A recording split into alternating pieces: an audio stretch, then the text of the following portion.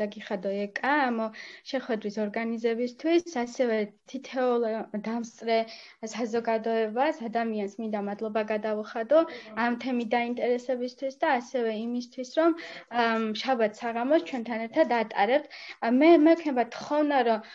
ყველა ხმარო დავამიუთოთ, იმიტომ რომ საუბრისას სიმართლე გითხრათ ცოტა ხელს მიშლის და გადავალ უშუალოდ ახლა თემაზე, როგორც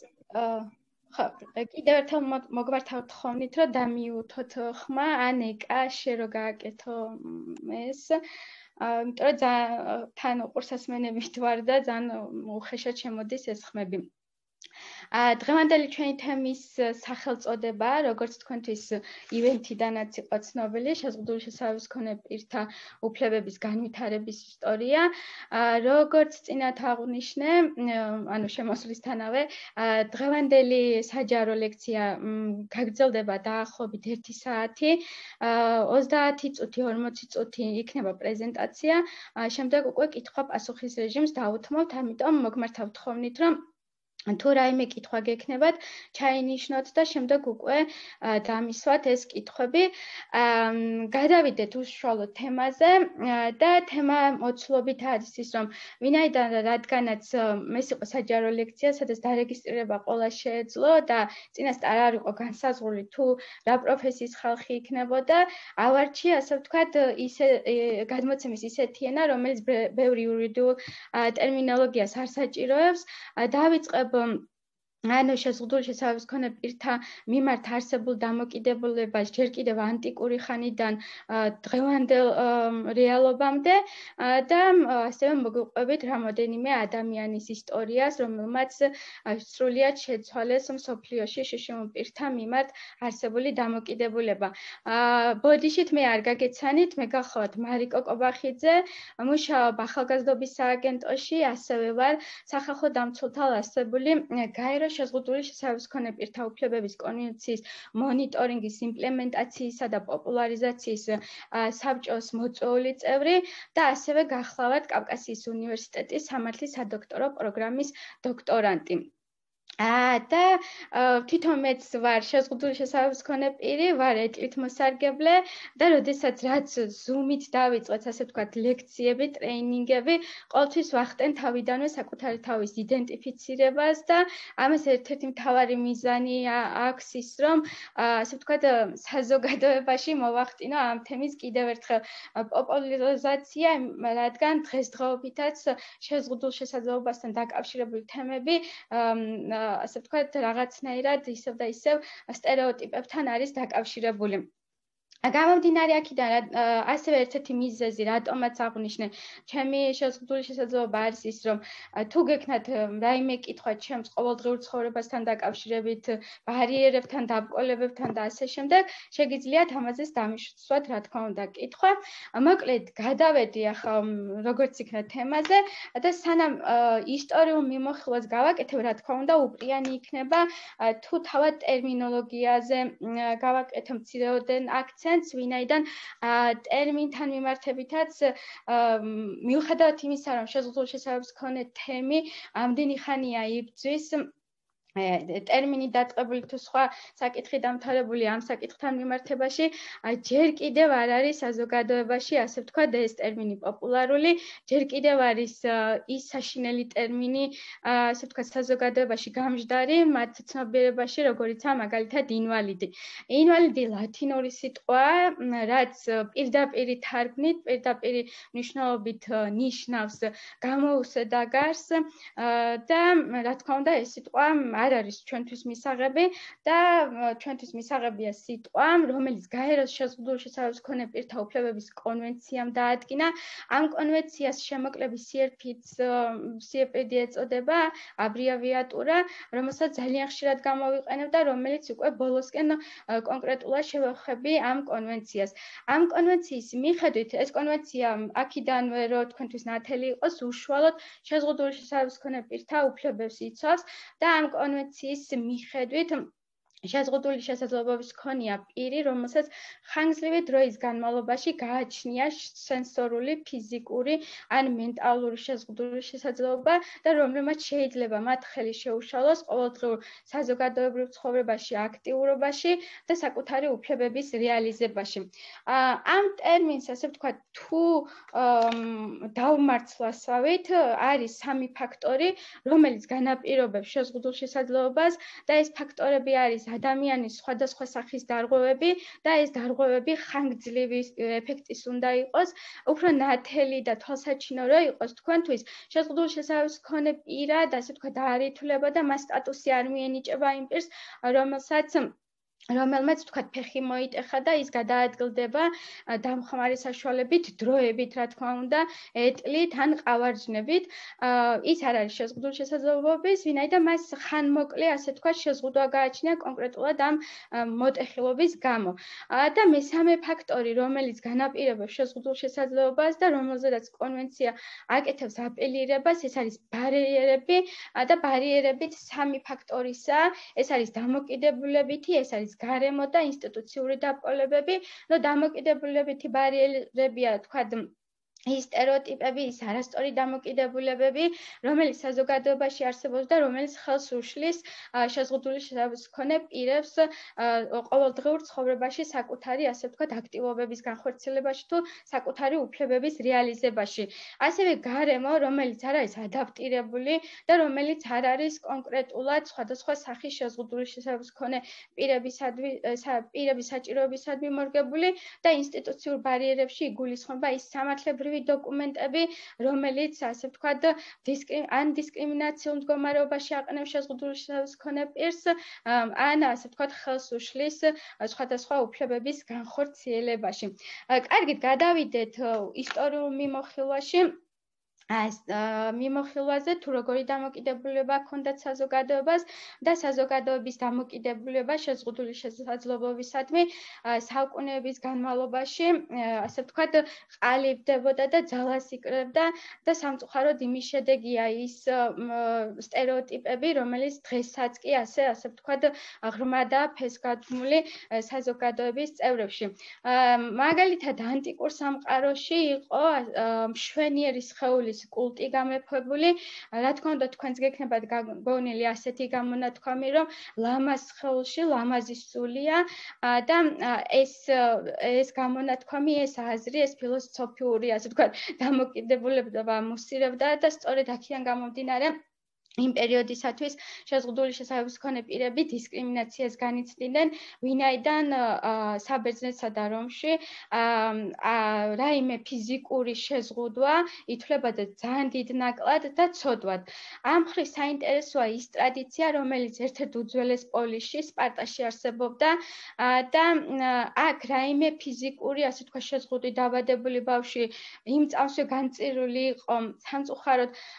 სასიკვდილოდ და ამას პარტანელები, ასე ვთქვათ, რასის სიჯანსაღეზე, სიჯანსაღეზე და რასის გადარჩენვის ზრუნვით, ასე ვთქვათ, ხსნიდნენ. რა თქმა უნდა, ალოგიკურია და ყოველგვარ, ასე ვთქვათ, სამართლების საფუძველსა მოკლებული. და შეზღუდული შესაძლებლობის მქონე პირები ასევე განტევების ვაცად ითვლებოდა, როდესაც გავრცელებული იყო შავი ჭირი ან ქოლერა და ამ პერიოდისათვის საზოგადოება, ასე ვთქვათ, ძალიან დარწმუნებული იყო იმაში, რომ შეზღუდული შესაძლებლობის მქონე პირის დასჯით ეს ეპიდემია აილაგებოდა, ასე ვთქვათ და ეს საფრთხე უკვე არიარსებობდა მე-16 საუკუნის ჰოლანდიაში კი შეზღუდული შესაძლებლობა ძალიან დიდ შეზღუდული შესაძლებლობის მქონე პირები ცოდვილებად ითვლებოდნენ და ხდებოდა მათი ქონების კონსიფიკაცია ეს დამოკიდებულება სამწუხაროდ ნუქონების კონსიფისკაციას დღეს არ ახტენენ, მაგრამ დამოკი რელიგიურ დამოკიდებულებას უწოდებენ ამას და ამ რელიგიურ ეს რელიგიური დამოკიდებულება, რომ შადღუდული შესაძლებლობა წინაპების მიერ ჩადენილი ცოდვის შედეგია, დღესაც მუსირებს და დღესაც გამეფებულია ზოგიერთი სასულიერო პირის ცნობიერებაში და ამას ქადაგებისას ასე ვთქვათ არაერთხელ ამჟღავნებენ და ნუ ამის შესახებ რამოდენიმე ხნის წინ იყო ცნობილი ფაქტი, რაც რა თქმა უნდა ძალიან სამწუხაროა. რადგან რელიგიურ დამოკიდებულებაზე სასულიერო პირებს შევეხეთ, მარტინ ლუთერი მინდა მოგიყვანოთ ეს იყო ასე ვთქვათ გერმანელი ბერი პროტესტანტიზმის დამფუძნებელი რომელიც ასე ვთქვათ ხმალამოღებული იბრძოდა შეზღუდული შესაძლებლობის მქონე პირების მიმართ. და მან ერთ-ერთი ქადაგებისას განაცხადა რომ წაიყვანეთ გონებასუსტი ბავშვები მდინარესთან და ჩაძირეთ იგი რაც რა თქმა უნდა სამწუხაროა და ასე ვთქვათ ისტორიაში ერთ-ერთი შავი ლაქა მისი ეს მოწოდება სამწუხაროდ შეზღუდული შესაძლებლობების პირები, როგორც დაცვინის ობიექტები, არისტოკრატებისთვისაც იყო, ვინაიდან სამეფო კარზე ან წარჩინებული, ასე ვთქვათ, ფეოდალების კარზე იყვნენ ჯამბაზები, რომელიც როგორც წესი, ასე ვთქვათ, გამოირჩეოდნენ შეზღუდული შესაძლებლობებით და ეს დამოკიდებულება საუკუნეების შემდეგაც გრძელდებოდა, მაგალითად მე 18-19 საუკუნეში ძალიან პოპულარული იყო თეატრალური სანახაობები რომელშიც ასევე სხვადასხვა შეზღუდვის მქონე პირები იყვნენ მონაწილეობას და სწორედ მათ შეზღუდულ შესაძლებლობაზე კეთდებოდა აქცენტი და მათი შეზღუდული შესაძლებლობა იყო ასე ვთქვათ გართობისა და დაცინისა და ქილიკის ასე ვთქვათ ობიექტი. მე-20 საუკუნეში გამეფებული იყო მოძღვრება, რომელიც ევგენიკის სახელითა ცნობილი და ეს მოძღვრება ქადაგებდა, ასე ვთქვათ, ჯანსაღ გენს და ჯანსაღ გენს უწევდა პოპულარიზაციას. სამწუხარო ფაქტია ის, რომ ამ მოძღვრებას ხარს უჭერდა ძალიან ბევრი ცნობილი ადამიანი, ბევრი სწავლული და მათ შორის, ასე ვთქვათ, ბევრი პოლიტიკოსი და მათ შორის იყო უინსტონ ჩერჩილი, რომელმაც, ასე ვთქვათ, ლორთა პალატაში ციტირებას ვაკეთებ, იმ დროინდელ ტერმინოლოგიას ვიყენებ, იხილებოდა კანონ პროექტი გონებრივი ჩამორჩენილობის შესახებ და ამ კანონ პროექტის განხილვისას მან განაცხადა, რომ გონებასუსტი ადამიანები წარმოადგენენ საშიშროებას ასისთვის და საზოგადოებამ უნდა მოიშოროს ისინი, რაც შეიძლება მალე. ამ კანონ პროექტის მიღების შემდეგ ინგლისში, ასე ვთქვათ, გაძლიერდა ინსტიტუციური დაწესებულებები, ესა სადაც ასე ვთქვათ, ათავსებდნენ მენტალური შეზღუდვის მქონე ადამიანებს. ამ კანონის მიღების შემდეგ, საინტერესოა ის ფაქტი, რომ ამ კანონის მიღების შემდეგ სამეფო ოჯახის ორი წევრი მოხდა ინსტიტუციურ დაწესებულებაში და მათი არსებობის შესახებ, ასე ვთქვათ, საზოგადოებას საერთოდ არ ქონდა ინფორმაცია, ვინაიდან ეს ადამიანები, ასე ვთქვათ, როგორც გარდაცვლილები, ისე იყვნენ ცნობილები და მხოლოდ შემდეგ წლების შემდეგ გახდა აღნიშნული ფაქტის შესახებ ცნობადი საზოგადოებისათვის. ამის ამ ისტორიის შესახებ კარგად აღწერილი, ეს ისტორია კარგად აღწერილი The Crown, ალბათ ყველა თქვენ გას გაქვთ ნანახი მეოთხე სეზონში და რეჟისორს ძალიან ემოციურად აქვს აღწერილი და გირჩევთ რომ უყუროთ და ასე ვთქვათ შეაფასოთ ეს მოვლენები. ну ნაცისტური რეჟიმის დამოკიდებულება ну ყველასათვის ცნობილია არ შეზღუდული შესავალს ქონე პირები იმყოფებოდნენ კარგ მდგომარეობაში ამ დროს. ისინი სამედიცინო ექსპერიმენტისა და მანიპულაციის მსხვერპლი იყვნენ და ხანდახან ну რა თქმა უნდა იუმორით უყურებდა ეს იუმორი ნახევრად ტრაგიკულია ასე ვთქვათ რომ ის და აღნიშნავ რომ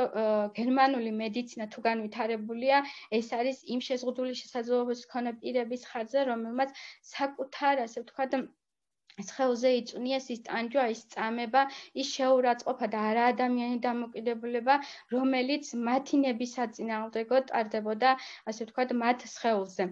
აა შეზღუდული შესაძლებლობის მქონე თემა საკმაოდ მძიმე და ხანგრძლივი, ასე ვთქვათ, გზა გამოიარა 1940 წლიდან მე-20 საუკუნის 90-იან წლებამდე. აღსანიშნავია ის ფაქტი, რომ მეორე მსოფლიო ომის შემდეგ შეზღუდული შესაძლებლობის მქონე პირებმა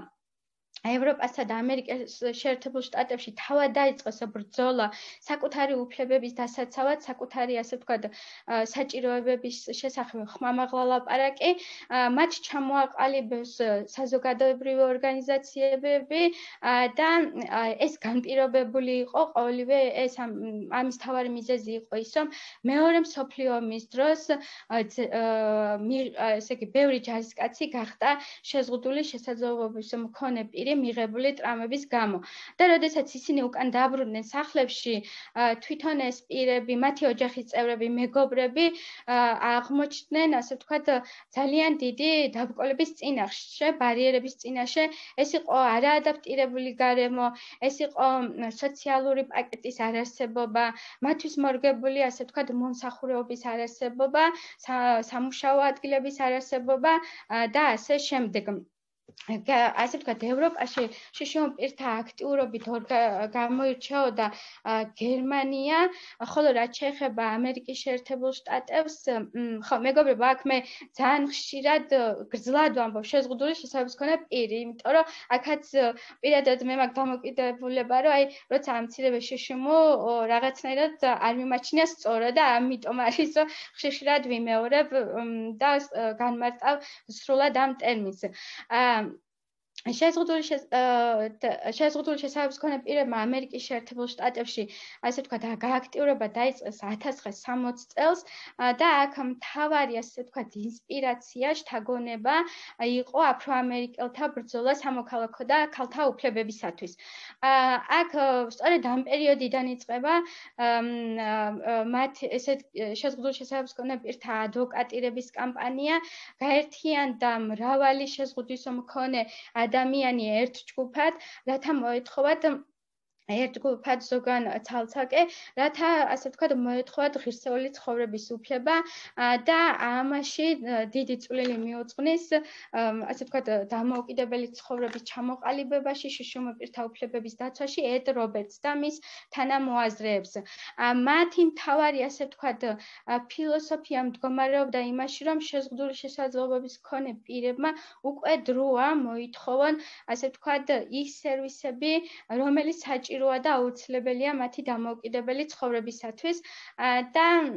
ედ რობერტსი თავისი თანამოაზრეებით იყვნენ ის შეზღუდული შესაძლებლობის მქონე პირები, რომელმაც მსოფლიოს ახალი თვალით ახლიდან დაანახა, ახალ პრიზმაში ანახა შეზღუდული შესაძლებლობა. ედ რობერტსის ბიოგრაფიას რო გადავალოთ მცირედი თვალი, ის იყო 14 წლის, როდესაც პოლიემილიტით დაავადდა, რომლის შედეგადაც ის გახდა შესაძლებლობის შეზღუდვის მქონე პირი.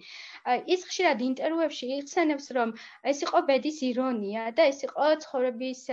ცხოვრების მიერ მისდამი დაცინვა, რადგან ის აღიარებს, რომ მანამდე სანამ ის გახდებოდა შეზღუდული შესაძლებლობის და შემდეგაც გარკვეული პერიოდის განმავლობაში ის იყო უარყოფი და დამოკიდებული სხვა შშმ პირთა მიმართ. და ეს დამოკიდებულება გამოწვეული იყო იმ საზოგადოების დამოკიდებულებით, რომელიც მას გარს მის გარშემო იყვნენ და რომლებსაც ასე ვთქვათ, მრავალი стереოტიპული თუ არაჯანსაღი, ასე ვთქვათ, დამოკიდებულებით იყვნენ აღჭურვილი თითოეული შიშიუნპირთა მიმართებაში და სწორედ ამ стереოტიპების გამო მას მიაჩნდა და სჯეროდა, რომ ვერასდროს ვერ გახდებოდა საზოგადოების სრულუფლებიანი წევრი და ვერასოდეს ვერ იქნებოდა სრულყოფილი ადამიანი. სწორედ ამიტომ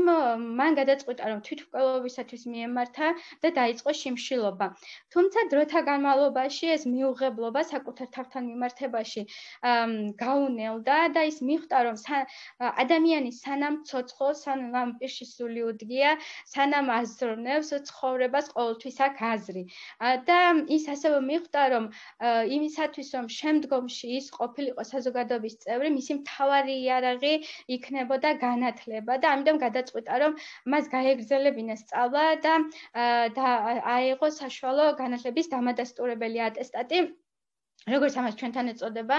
არ ვიცი, მგონი იქ დიპლომი ეწოდება საშუალო განათლების დამადასტურებელ დოკუმენტსაც და სწორედ ამ პერიოდიდან იწყება მისი, ასე ვთქვათ, ბარიერები და საფუძველი ეყრება მისი როგორც აქტივისტის, ასე ვთქვათ, ცხოვრებას. ვინაიდან მისმა სკოლის დირექტორმა უარი განაცხადა მისი სკოლაში დაბრუნებაზე, რადგან არგუმენტი იყო ის, რომ თვითონ სკოლა არ იყო მზად. შეზღუდული შესაძლებლობის კერძოდ კი ის იყო ეტლის მოსარგებლე ასევე ის იყენებდა სასუნთქ აპარატს ჟანგბაც და არ იყო ასე ვთქვათ ამხელა რაღაც ანუ თვითონ ვთქვათ კლასის ოთახების კარებიც არ იყო იმხელა რომ შეძლებდნენ ვთქვათ ედის საკლასო ოთახში მოხვედრას და თვითონ პროგრამაც არ იყო ადაპტირებული შშმ პირებისათვის და მეორე არგუმენტი, რაც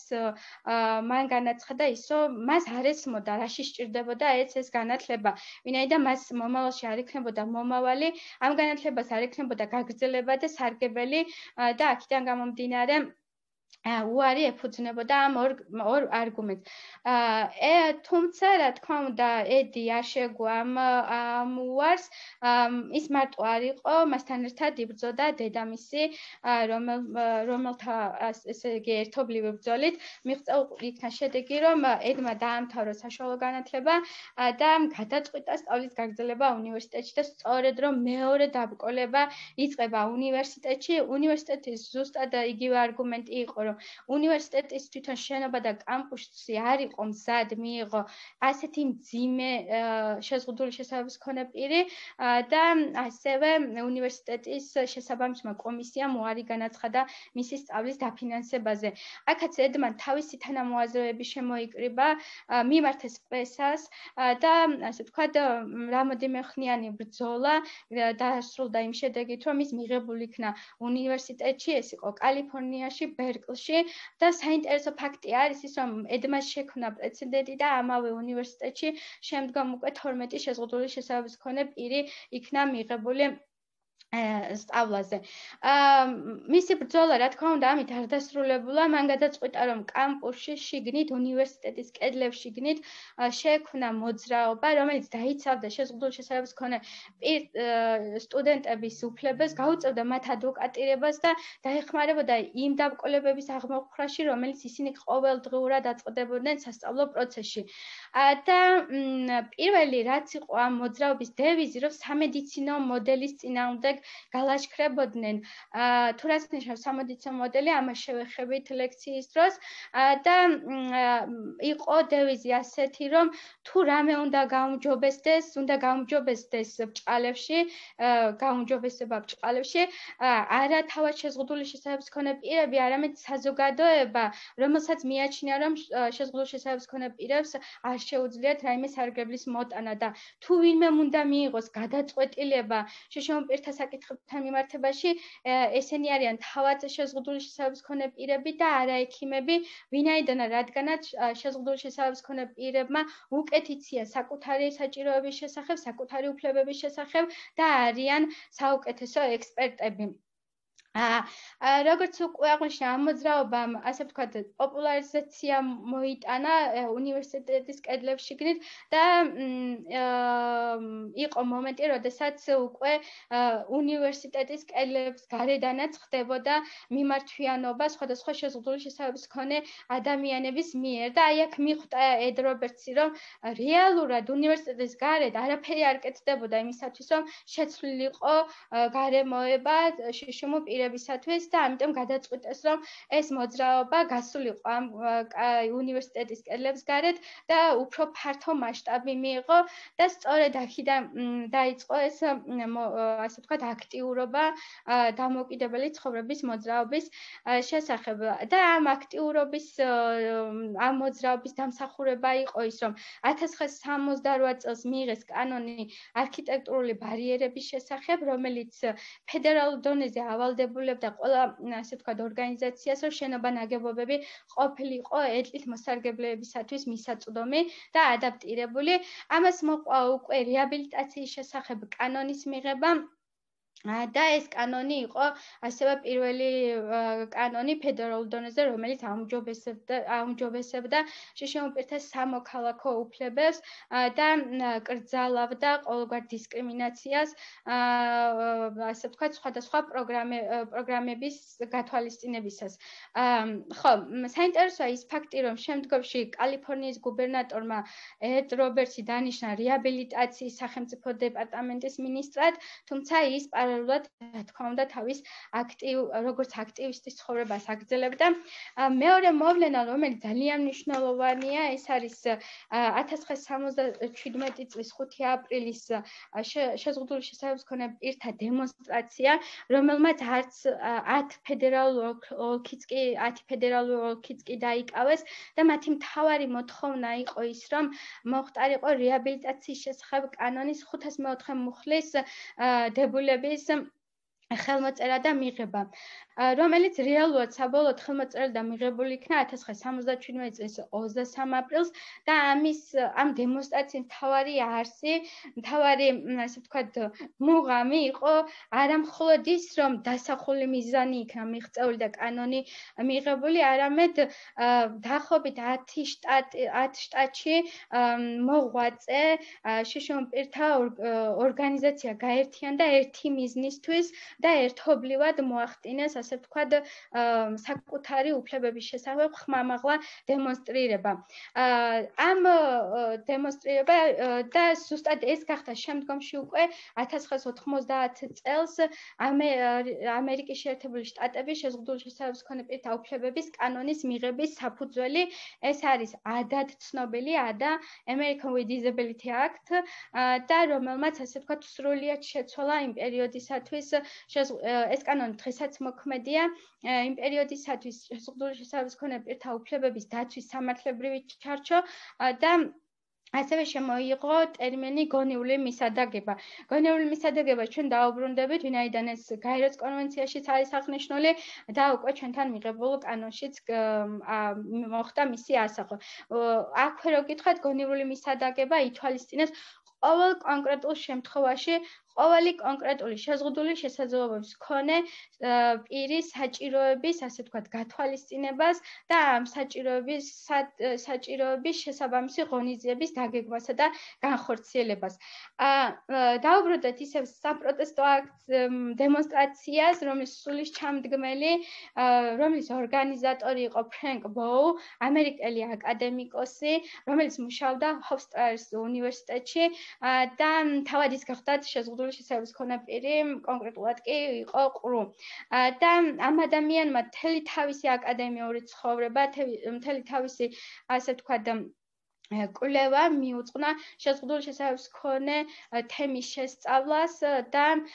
ამ თემისათვის სიახლეების შემატებას. აღსანიშნავია ის, რომ ეს ადამიანი გახდა 80-იანი წლების მეორე ნახევარში ამერიკის შეერთებული შტატების კონგრესის ყრუთა განათლების კომისიის თავმჯდომარე,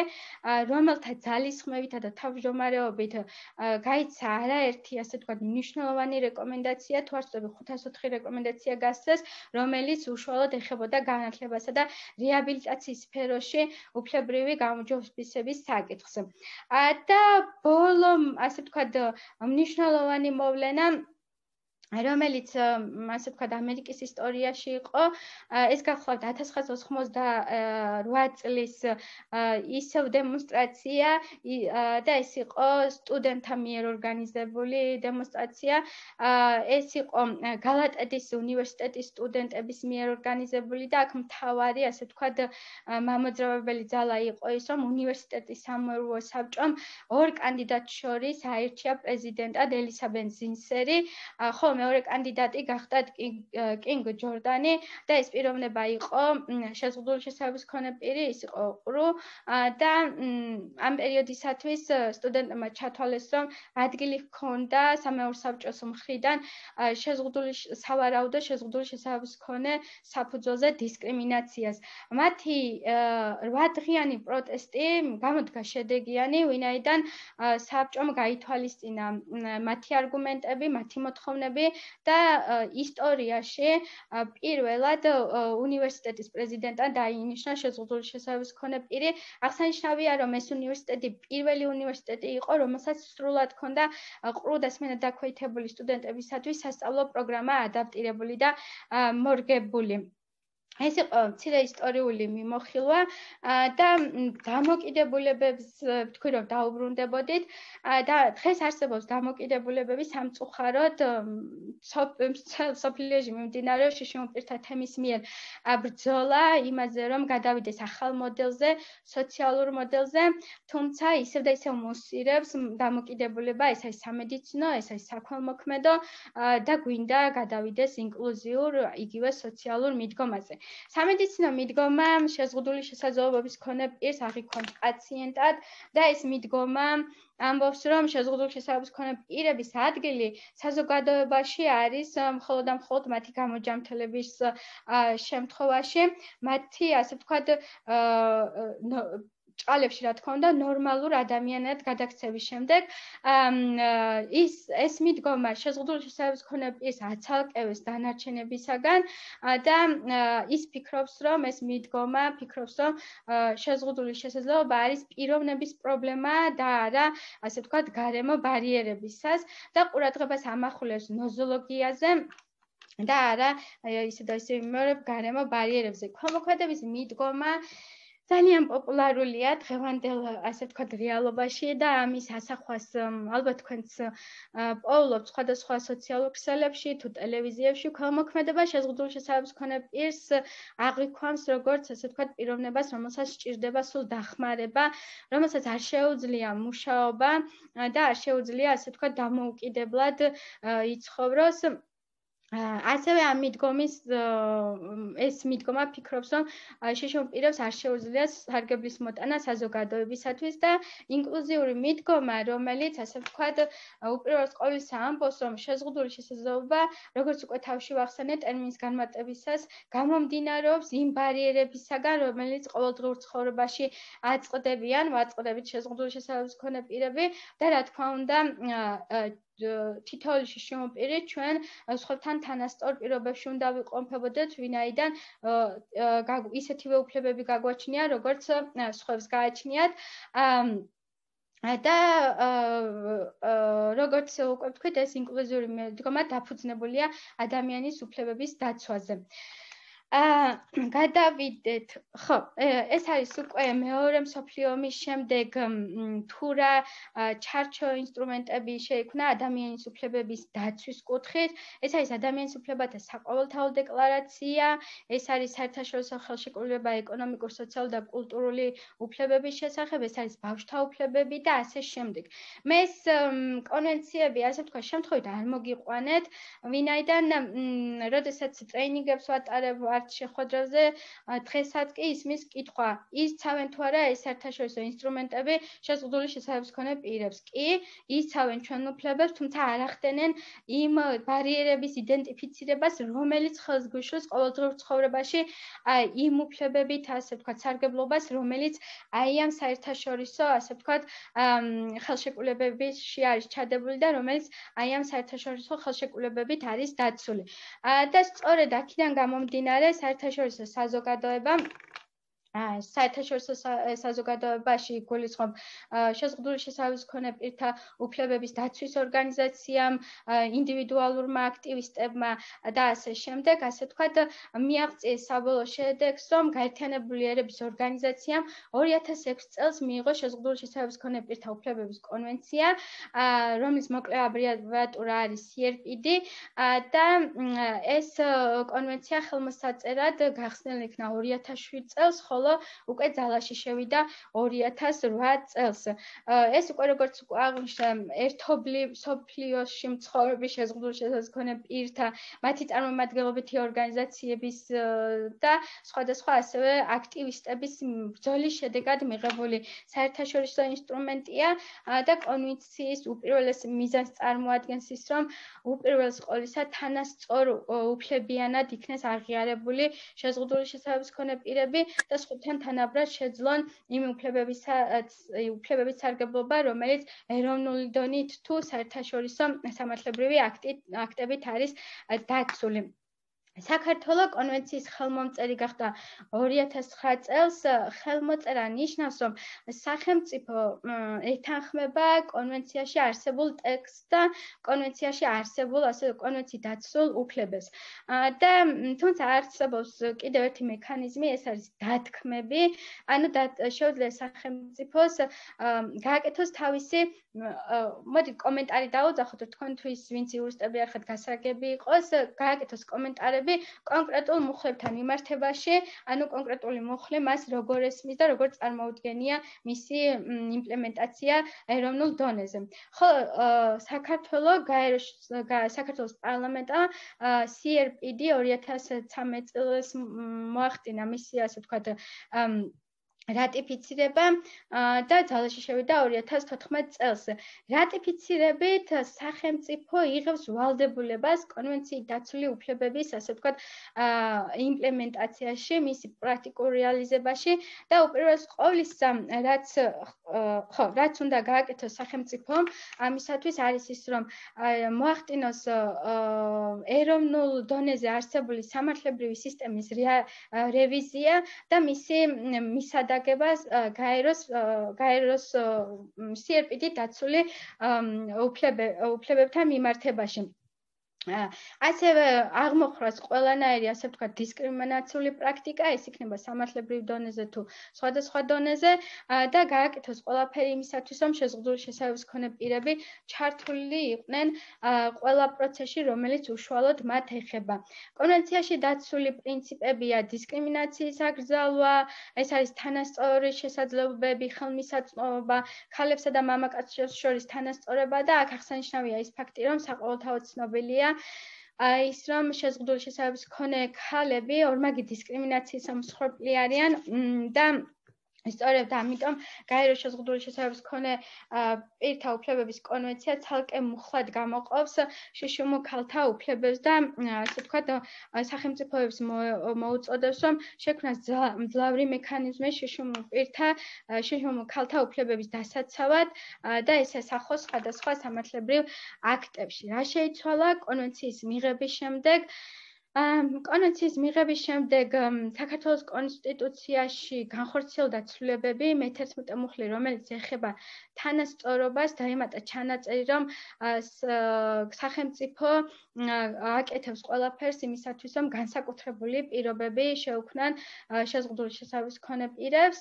ეს ჩანაწერი ჩემთვის ცოტა ბუნდოვანი და გაუგებარია, ვინაიდან როდესაც ჩვენ ვლაპარაკობთ თანასწორობაზე და როდესაც უკვე მოქმედებს გაერო შეზღუდული შესაძლებლობის მქონე პირთა უფლებების კონვენცია, რომელსაც გონივრული მისადაგების პრინციპი ასე ვთქვათ, იყენებს, ამის ფონზე ასე ვთქვათ, განსაკუთრებული პირობების აღნიშნა, აღნიშნის საჭიროება რატო იყო, არ ვიცი და ჩემთვის ეს მოხლი ცოტა არ იყოს საორჭოფო და სადავოა. საქართველოს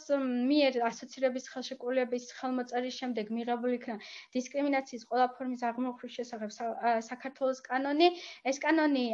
ანუ აღსანიშნავია, რომ იცავს არა მხოლოდ შეზღუდული შესაძლებლობის მქონე პირთა უფლებებს, არამედ ყველა უფლებას, ვინც თვლის, რომ სავარაუდო დისკრიმინაციის მსხვერპლია. და მიღებული იქნა კანონი, რომელიც 1 იანვარს შევიდა ძალაში, ეს არის საქართველოს კანონი შეზღუდული შესაძლებლობის მქონე პირთა უფლებების შესახებ. აა ამ კანონს ბევრი პოზიტიური რამე აქვს, როგორც უკვე აღნიშნე, შემოვიდა ტერმინი გონორული მისადაგება, თუმცა მისი მოქმედების არეალიც მცირეა, ვინაიდან ის მოქმედებს მხოლოდ ამ კანონის განსაზღვრული უფლებების არეალში, თუმცა შეიძლებოდა უფრო მძლავრი მექანიზმი შექმნა და ასე ვთქვათ, უფრო კარგი კანონის მიღება. შემდეგ იყო ეს სამოქმედო გეგმები, სხვადასხვა პოლიტიკის დოკუმენტები, ჩვენ და სამწუხაროდ სამოქმედო გეგმაში ასახული აქტივობების უმეტესობა განუხორციელებელი არის, ვინაიდან, ასე ვთქვათ, ფინანსურ ნაწილში მითითებული იყო, რომ სახელმწიფო დონორი ორგანიზაციების მიერ უნდა მოხდარიყო გარკვეული აქტივობების დაფინანსება და ეს იყო იმის მოლოდინი, რომ თავიდანვე სახელმწიფო იმ შემთხვევაში თუ ვერ მოიძიებდა დონორს ამ გაწერილი აქტივობების ფარგლებში იხსნიდა თავის პასუხისგებლობას. და ეს არის ძალიან სამწუხარო ფაქტი და ხშირ ხუმრობ რომ 2 წლის შემდეგ, ასე ვთქვათ, წლიდან წლამდე ამ სამოქმედო გეგმებს copy paste-ის ასე ვთქვათ, მადლი შესხმული და მეტი არაფერი. აა ნუ მოხდა ბევრი ასე ვთქვათ პოზიტიური რამე, თუმცა უფრო მეტი უნდა მოხდეს იმისათვის, რომ სხვებთან თანასწორ პირობებში მივყოფებოდეთ შეზღუდული შესაძლებლობის მქონე პირები და სხვებთან ვიყოთ თანასწორად და ისევე ვისარგებლოთ იმავე უფლებებით, როგორც შეზღუდვის არ ქონია ადამიანების სარგებლობენ, ეს არის გადაადგილების უფლება, ეს არის განათლების მიღების უფლება, თუ ასე შემდეგ. მართალია ჩვენ რადგან ახლა განათლების უფლება შევეხე აა ინკლუზიური განათლება, ასე ვთქვათ, ჩვენთან დიდი ხანია დამკვიდრებულია, მაგრამ სამწუხაროდ ის ხარვიზებით მიმდინარეობს და ის უფრო მეტ დახვეწას საჭიროებს. ეს იყო ჩემი პრეზენტაცია. ახლა თუ გაქვთ კითხვები, რა თქმა უნდა,